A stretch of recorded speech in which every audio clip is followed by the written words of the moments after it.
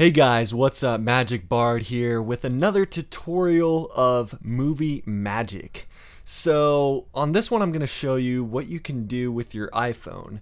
And basically all you have to do is get one shot of you sitting against a mirror and then bringing the camera towards the mirror and we'll go from there. So yeah, let's get into it.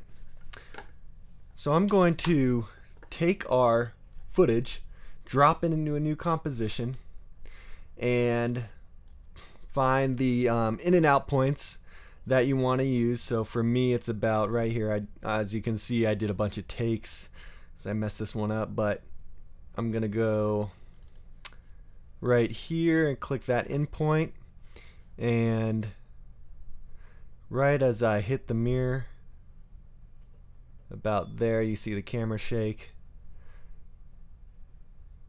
That's where I'll do my out point. Alright, cool. So now we have our little coming into the mirror and all you have to really do is duplicate this, alright, control D and move your layer over and what you're going to do for your second layer, okay, is reverse the action. So right click, time, and reverse layer. Okay, so now we've got this sort of boomerang effect, right? But what we want is we want to go through the mirror. So how we do that is we have to flip this area. And in After Effects, it's called flop. I don't know why, but okay, so cool. Check it out. Now we're going through the mirror, okay? But we've got this little stutter action. That's because as my arm gets close to the mirror, I sort of tilt it a bit. So what we're going to have to do is uh, keyframe that rotation. So let's zoom in here by pressing the plus sign on your keyboard and bring your top layer over just one frame and then turn the opacity down to about 50%. So press T, which will open up your opacity parameter and bring this down to about 50, okay? And then bring the playhead over so it's on top of both. And now what we want to do is match these two clips together. So we're going to use the uh, rotation and position to set it in. So your keyboard shortcuts are going to be W for rotation, okay? And then V to use the pointer and move the position, okay? So kind of get it on there until it's not fuzzy anymore. And this is what you're really looking at, not the outsides, okay? So once this seems about right, you're going to be good to go. So So that looks good to me. Let's um turn the opacity up back to 100% and see what we got here and bring make sure to bring the layer over back to where it was the the endpoint. Okay, so it lines up. We're looking good. Press the uh, subtract or minus button to zoom back out. And what we've got here is going through the mirror. Cool. All right. Now what you're going to do is we need to place our footage back into the uh, area so there's no black spaces, right? So take this all the way at the beginning, press press R for rotation, keyframe that, keyframe the position as well, so press P, keyframe that, and then bring it over to probably make it one second long, and let's bring the position to, what is it, 960 by 540, I believe and then go to your rotation R and put that back to zero. And then what we're going to get is, cool, that little motion back into frame. Alright guys, so we're getting there. Next part is we want our face to be in the middle of the frame at all times. Okay, so what we're going to do here is go into Layer, New, Null Object, and we're going to connect these two layers to the null. Okay, so just select them both, take your pick whip tool, parent it to the null, and let go. Okay, and you'll see right here that it's connected to null 5, which is what we want. So now just click on the null, press the P for position, and now you can move the null object and both of these layers will move with it okay?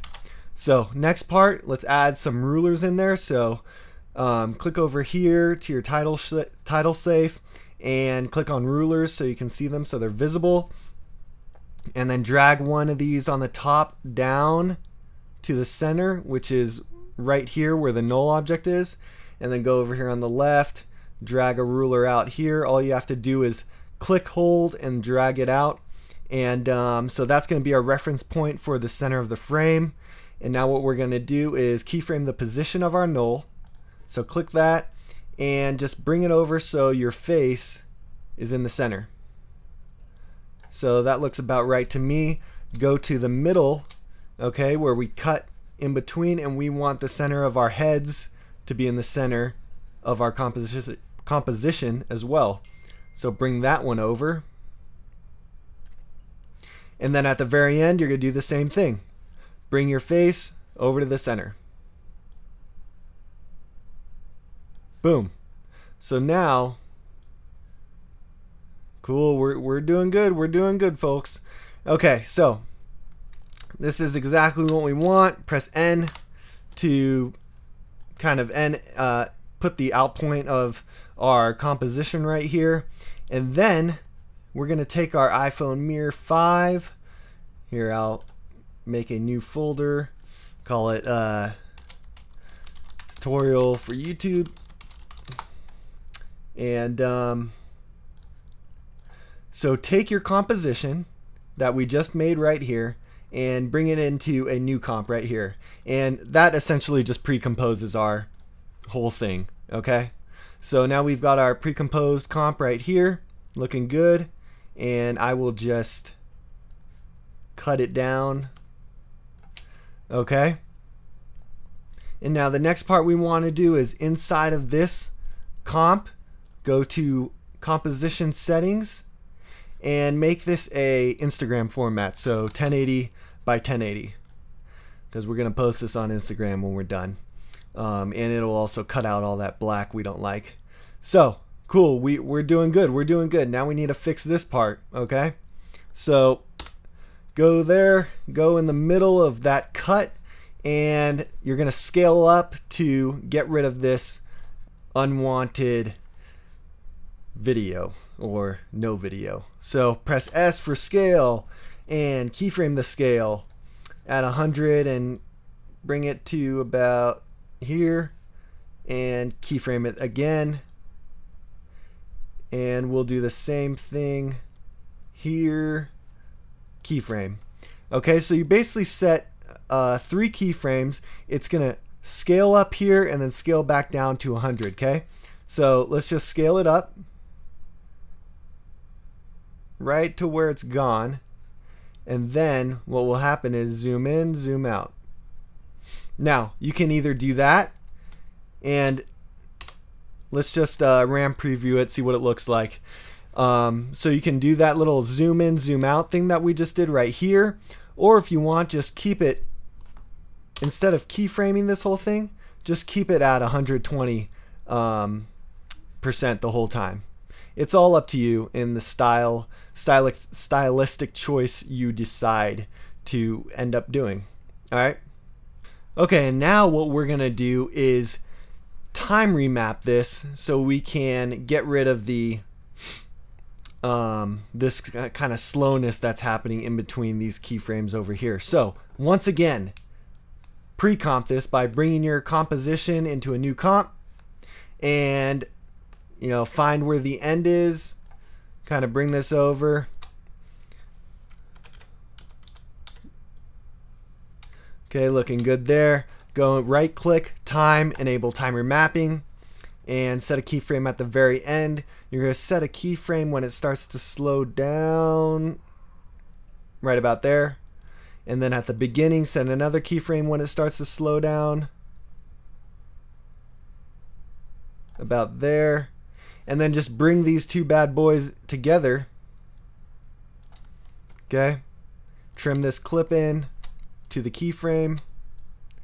And uh, let's see what we got. RAM preview it. Okay, it's looking a little better. It's looking a little better. Um, actually, now that I'm looking at it, I don't like this uh, this little zoom in right here. So take these keyframes and delete them. These are our scales, okay? So we're just going to keep it at 120%, which looks fine to me, okay? And um, let's see what that looks like now. Uh, good. The motion is smoother. You know, and you can really finesse these um, keyframes right here, getting it to this exact speed you want. I want to try and be a little faster on this one. So we got that. Now you've guessed it. The next part is duplicate it. Okay. So Apple D, Control D, or Command D if you're on a Mac. Duplicate it, bring it over, and you're going to reverse this layer. And now what, what you've got is a boomerang going back. Now there's that little black spot because I forgot to, I didn't edit it out right there. And we'll do the same thing right here. Okay. Bring this in, RAM preview it, and let's see what we got. Now you're going through mirrors. Alright guys, that's the basic effect. This is a uh, it, it, it's a fun and interesting effect. I don't know exactly how you'd end up using it unless if you were shooting some kind of uh, Stanley Kubrick like horror movie. Um, I don't know. You can probably think of a way to put that one in there.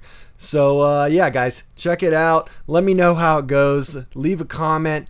Um, what kind of tutorials do you want to know about? What kind of visual effects are you curious about?